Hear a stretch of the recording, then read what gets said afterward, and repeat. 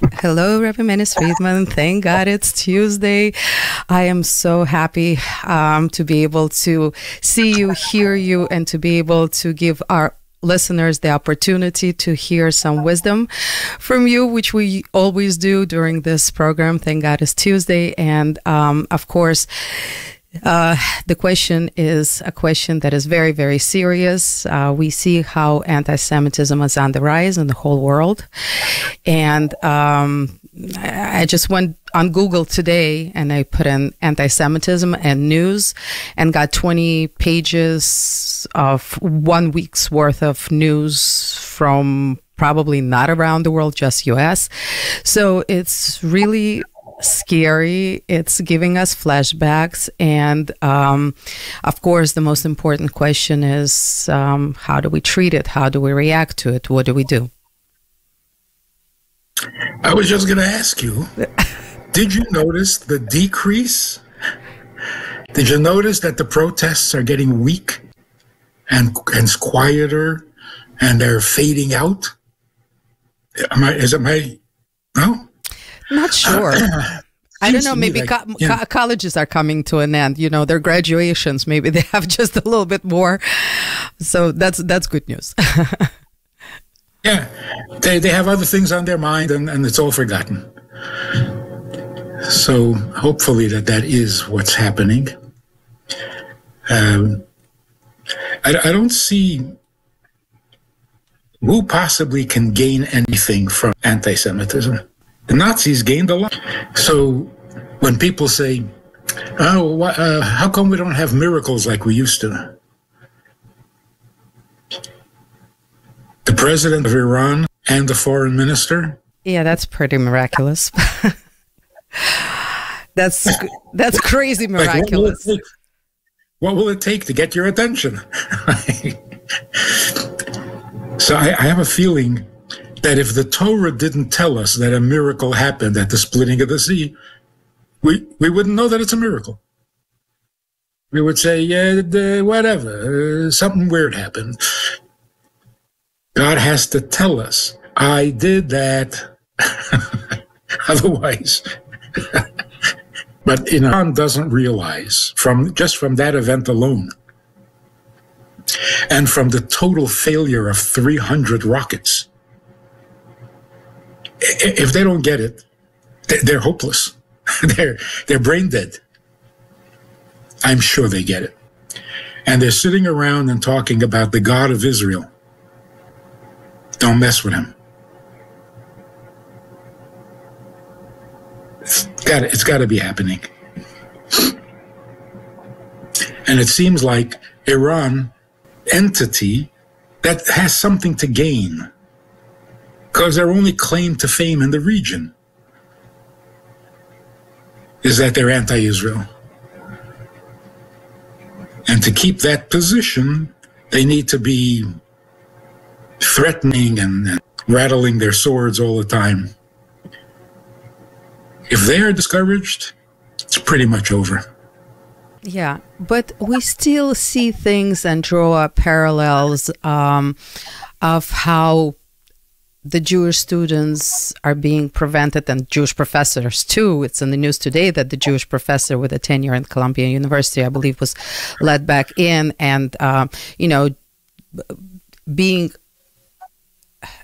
they they can't enter their own colleges. I mean, that's Vienna, 1938, um, and other things like crazy things like uh, Jerry Seinfeld was uh, booed giving a speech at Duke University, uh, University, his uh, own alma mater, and uh, it's like uh, people got a kick out of him for what nine years. His show was the more most popular show on television, and all of a sudden he is a persona non grata. I mean, this is an entertainer, yet. you know, I mean, Maybe he just wasn't funny. Did you listen to his speech? Yeah, the speech was pretty it, boring. Yeah, it was so disappointing. They were expecting hilarious. Yeah, I don't know. We need to be focused on who we are and where we're going. This distraction is dangerous. We can't, we can't become victims again in our own minds. So, I don't know, the Jewish agencies that constantly, constantly focused on this anti Semitism and that anti Semitism with numbers and statistics. And what are, you, what are you trying to do? Make us give up? what, are you, what are you trying to do? Rabbi Friedman, but what do we make out of the fact that ICC all of a sudden issues a warrant on Netanyahu and the prime minister for, uh, I mean, that's definitely anti Semitic.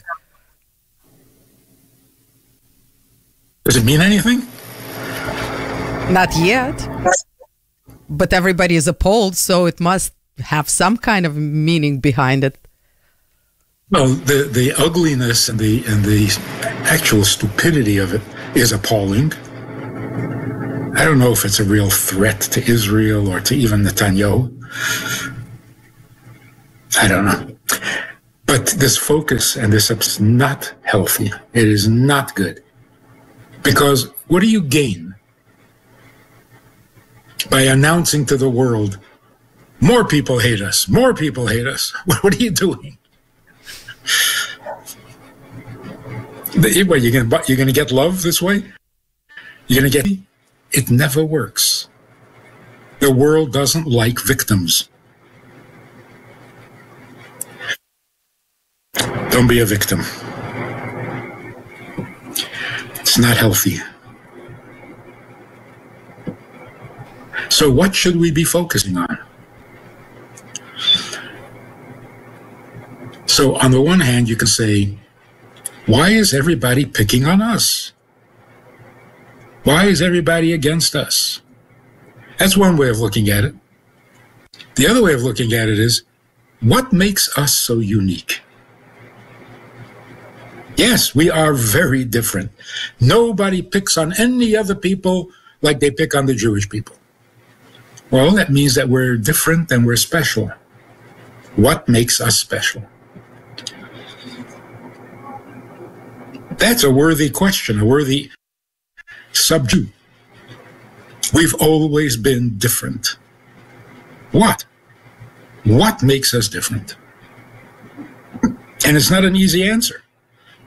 We've tried. In Germany, we were so German. In communist countries, we were such communist. What makes us different? If we knew the answer, we would feel much more secure. And we wouldn't care. Stu- college students who don't know what a woman is are against the Jews. They don't know what Jews are either. What, what, are we? What are we afraid of? Who are we being intimidated by? So it's not the it's not the world that is threatening us. It's our own un, lack of clarity about who we are. If you know who you are, then you tell the world who you are. You don't run around crying, everybody hates us. So you can feel victimized by all the attention on Israel and Jews. Well, we really are different. We really are unique. Why is the whole world obsessed with us? Right now, the obsession is negative.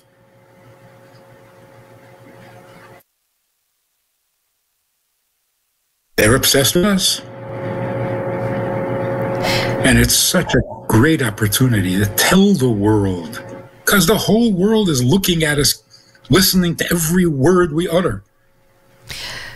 Rabbi Friedman, 100%. However, there's this element of fear that we cannot help to get over because there are too many parallels with what happened 70, 80 years ago. And it's very, very um, nerve wracking because. Um, I mean, what is the guarantee that this is not it again? That this is not going to turn into what it turned into the first time around? Circumstances are completely different. The world is different. Even if there were no parallels, we would still be afraid. Because psychologically, we're just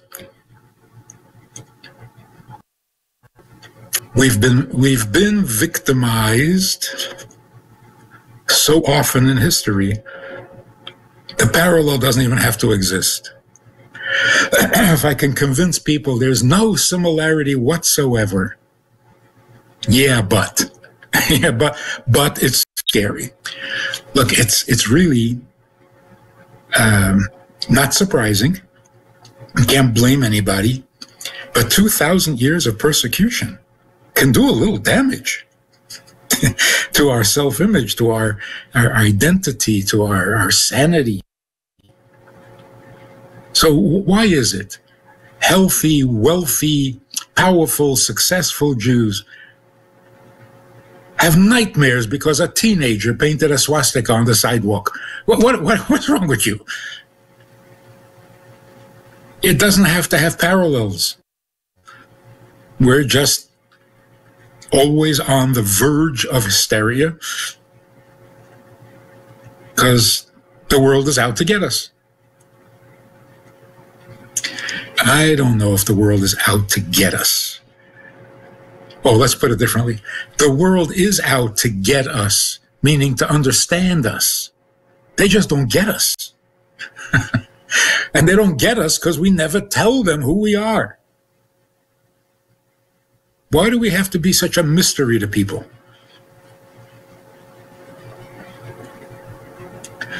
How is it that Muslims can say, the Israelis are not Jews, they're just Europeans from. But nobody knows who we are. You can make up stories where we're Jewish, we're not Jewish, we're gypsies, where what, are we? Why is our identity so? To borrow a, a modern term. And and really, that's just on the surface. The people who scream, we are not Jews, we're just, you know, they know we're Jews and they know we're chosen and it scares them. But what makes everybody crazy is that we won't say it. I've never heard a prominent Jewish from any denomination, from any background, from any say publicly, we are the chosen people. We stood at Mount Sinai. Rabbi Friedman, the big problem is that a lot of us don't know who we are ourselves. And I would say That's even a majority at this point. That's what I'm saying. The weakness is internal. the only one who came close to actually saying that was Ariel Sharon when he spoke at the UN. And whoever's listening, if you have a minute, look it up. Ariel Sharon UN at the 60th birthday of the United Nations.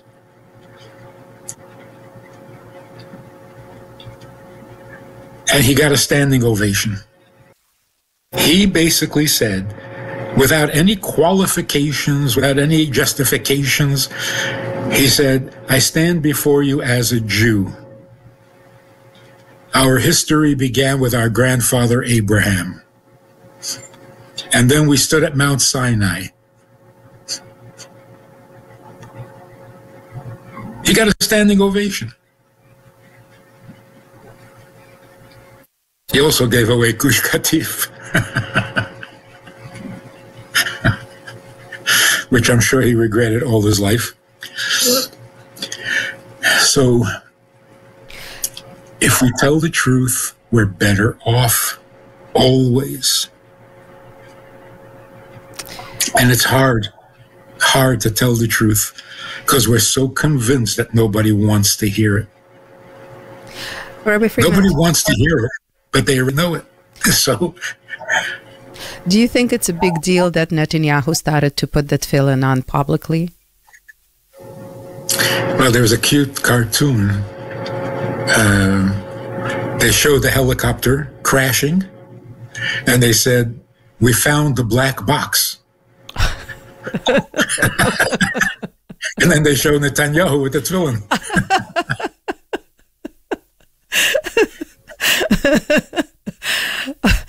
I wonder how many people got this joke right now. Good one. You know, the, the, the sequence, you know, the, the timing is not a coincidence. He puts on tefillin and his biggest enemy crashes. I mean, come on. Rabbi Friedman, you know what else blew my mind about this? It's just, uh, I don't know how many people know that there's a, a Jewish Iranian boy that was supposed to be executed on Shabbat. Um, his name is Arvin Natanel Ben Sonia and it was all over all Jewish uh, groups, sites to pray for this boy so he does not get executed. He, um, again, not a fair situation. I'm not going to get into it. It's a Shariat law that's uh, that's one sided. He only was protecting himself, and yet he deserves the death penalty in accordance to Shariat law. And on Friday, I was crying when I saw how people are praying for him, praying for him to be saved. And um, again, this is against Iranian regime. This is this is the only way to save him is to change the Iranian regime. And this is but people were not praying for anybody's death. They were praying to spare his life. And first and foremost, uh, after Shabbat, first thing I see is that the execution has been moved to Monday, and then on Sunday we get the news of uh, um, Iranian president not being around anymore. That's it, done deal. And um, yeah, it's there's no mistake. It wasn't. It wasn't a Moroccan president that perished. It was not a Lebanese president that perished. It was Iranian president, and pe- people were praying for life, not death.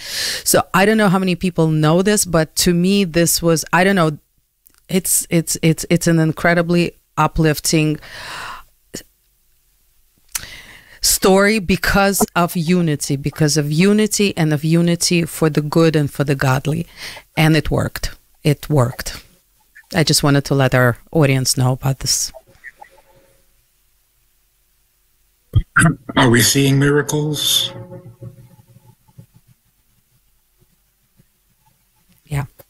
The sad thing is that we need miracles.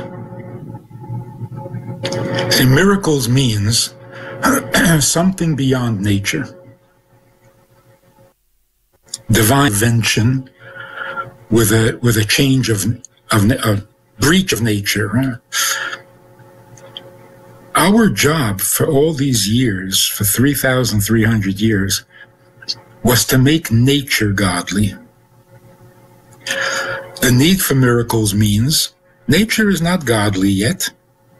So when things need to be straightened out, we need a supernatural event, a miracle, to put us back on track. So when miracles happen, on the one hand, fantastic, exciting, and we sing praises to God and thank you. On the other hand, we have to stop and think. We still need miracles? Nature is still not cooperating with godliness? Have we made any progress?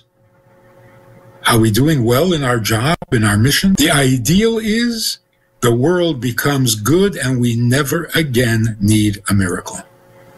Amen. Rabbi Friedman, but the interesting thing is that today we had our Israeli journalist uh, in the morning who said that uh, the news of the Iranian president uh, crashing on Sunday did not even make it top news in Israel. You were just in Israel. I'm just very curious. Um, what kind of progress and changes have you seen? Um, and experienced when they are from from where we were five, three months ago? Is there progress? Is there change? Progress? Change.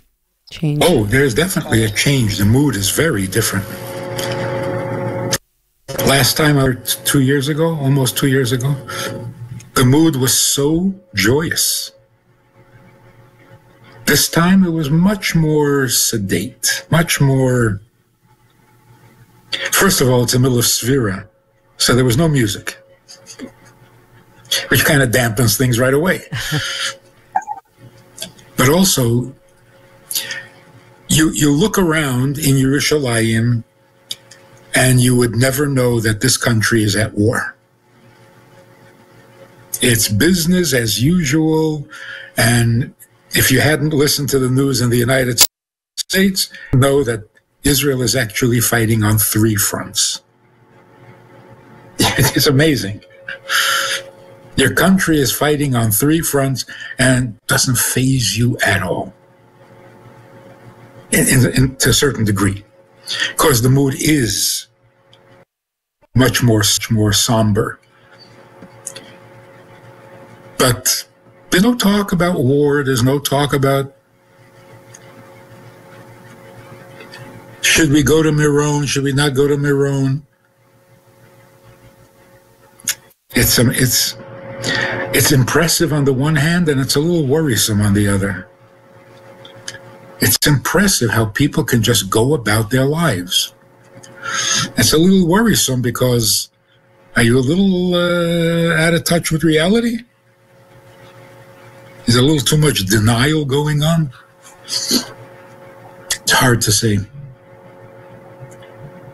But there's one thing for sure. The army are the heroes, not the politicians. The soldiers are incredible. The government, nobody, nobody's excited. And that's part of what we've been talking about for three years now. Stand by for surprises. You don't, you cannot predict what's going to happen the next tomorrow. Everything, everything we talk about was totally unpredictable. They would call for Netanyahu's arrest. Who would have, who would have predicted this? It's just crazy, and the surprises just keep on coming. I remember Biden is pro-Israel. Biden is on our side. Uh, no, he's not. Uh, yes, he is.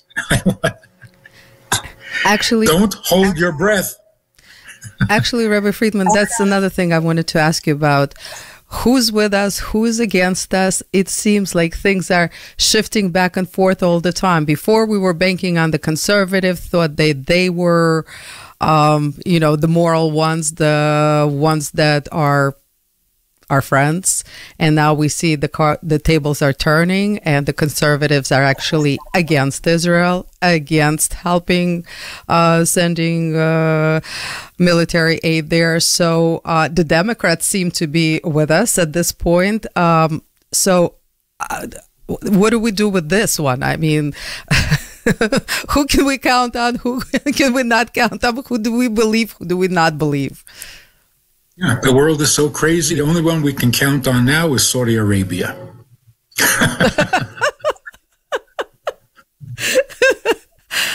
this is this is the world we live in. Saudi Arabia is our best friend now. Oh wow. We thought we had peace with Egypt. They won't go out of their way a, a single step Nothing. And they allowed the tunnels to be built. So, no. Everything we thought we knew, no. And so there's only one fact left. We are the Jewish people. The land of Israel belongs to us, with or without the world's opinion, with or without the world's support. Can we say this with confidence? If we did, these problems would all disappear. But we, we, I think we talked about this. We're living in a where there is no truth. We used to say we live in a world where there are many lies. Too many lies. Now, it's not too many lies. The only thing there is is lies. There is nothing else. There isn't a word of truth anywhere, anywhere. And it seems like we don't really care for truth. Truth doesn't matter, it's not important. Is there even a truth? Maybe nothing is true. We really are living in a Hollywood world. This is one big movie. And you make up the script and you change it anytime you want, and nobody is really doing what they're apparently doing. Nothing, nothing, nothing. So we know that our friends are not our friends. Why? Because everything is fake. Well, then our enemies are not real enemies either. That's also fake. I'm sure you stop the average campus and say, Are you anti Semitic? No, my best friends are Jews. So why are you protesting? they have no idea. Even if they said they're anti Semitic. So we have this really negative bent.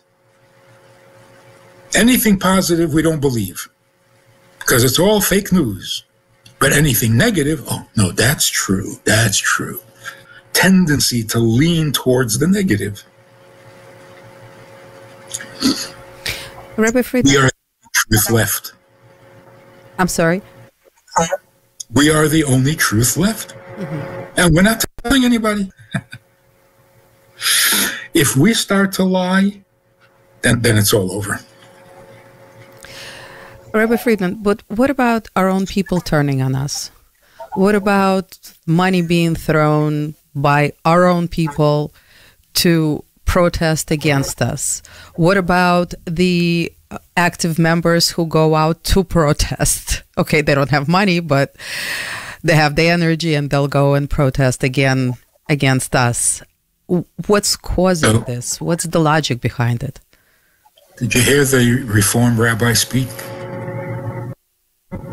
rabbi was speaking last week, I think, and he said this really painful thing. He said, We really have to stop and think what have we done? All the Jewish pro Palestinian students, they all went to our schools. They were all members in our temples. They all went to our camps. What did we do? how did we produce anti Semitic Jews?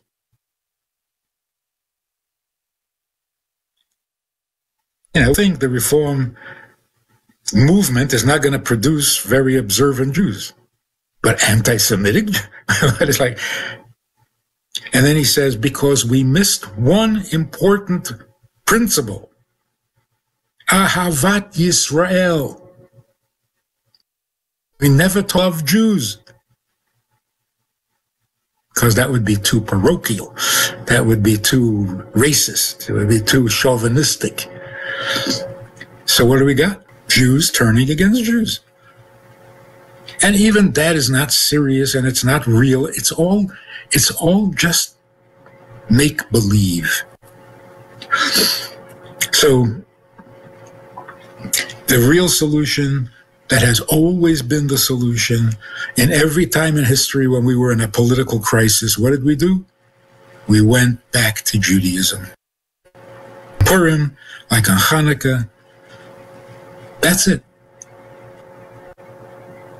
We must use the truth as our weapon, not politics.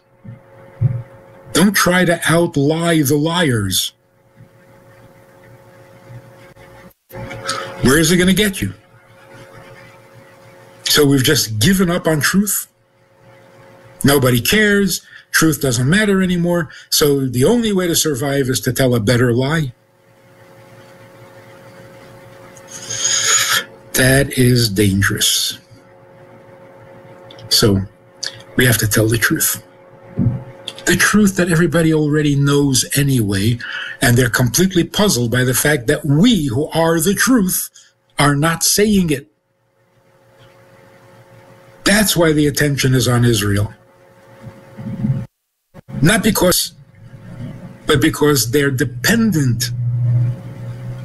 The, the well being of this planet is dependent on the Jews.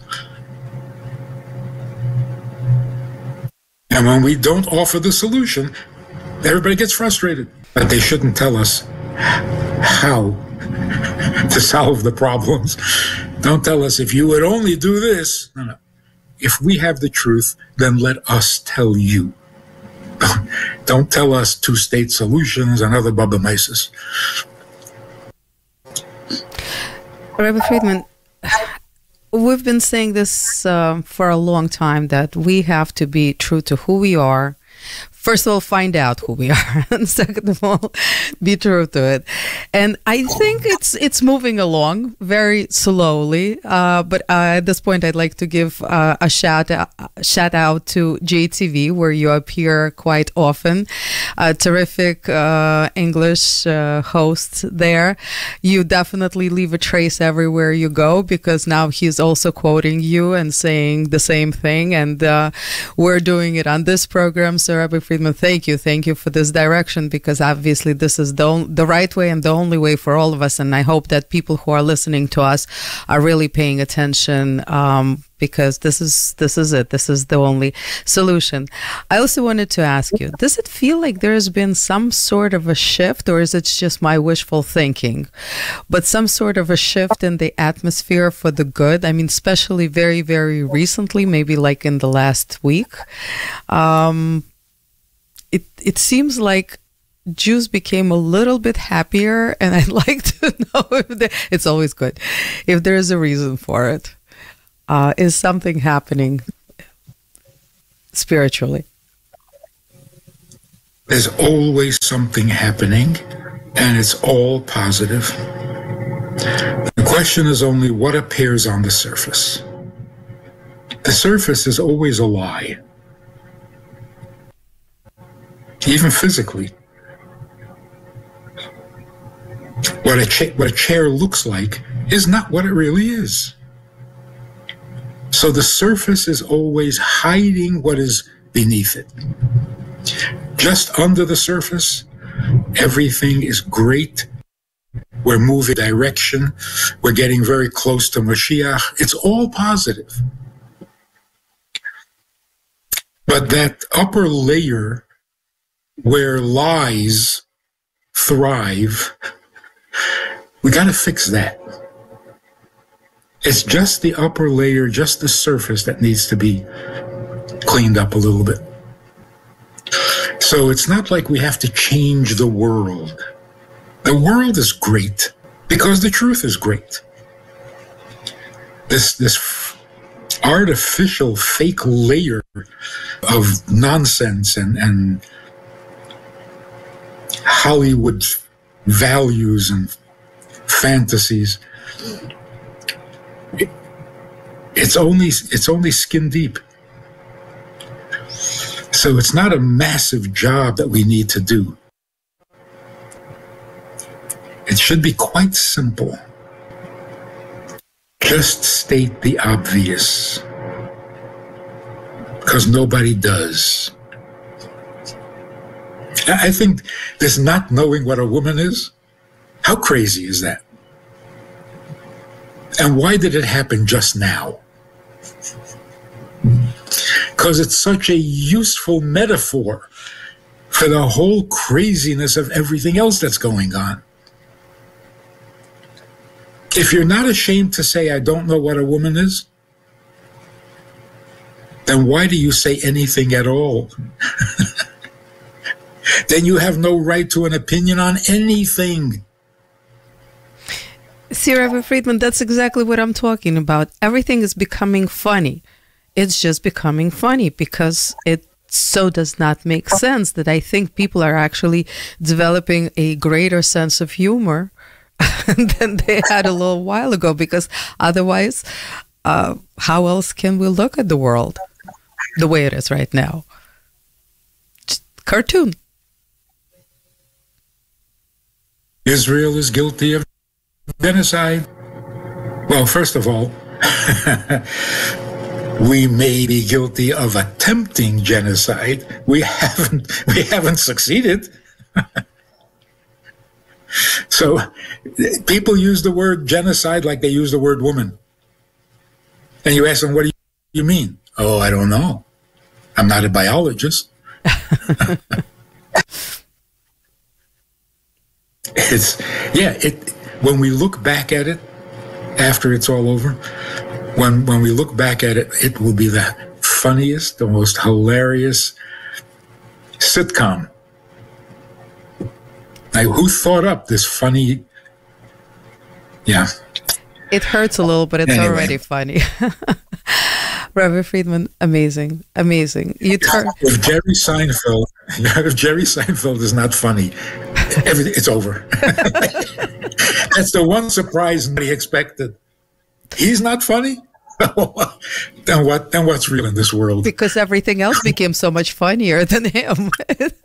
he, he already he's out News there. is funny. exactly. News is the funniest, the funniest thing on television.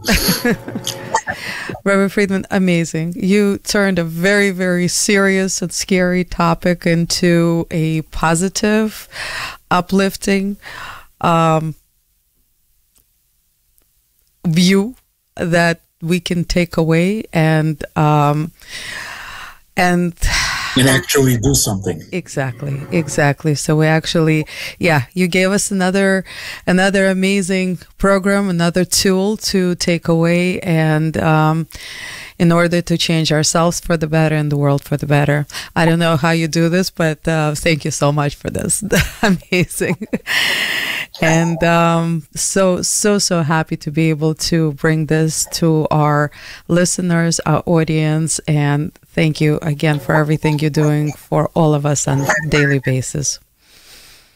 So historically, the 33rd day of the Omer, which is the yahrzeit Reb Shimon Bar Yochai, when traditionally goes to Meron to his to his grave. Today, the government is trying to decide whether they should allow a little bit, not a lot. But that day, which is Wednesday, tomorrow, I thought Sunday. Uh, Lag? Lag BaOmer? Sunday. It's Sunday, right? That's why there's going to be a big parade uh, in New York. So, on that day, the miracles, the availability of miracles. In fact, uh, we're told that back in the olden days in Lubavitch, all year people looked forward to Lag BaOmer for the miracles that they needed particularly children, having children.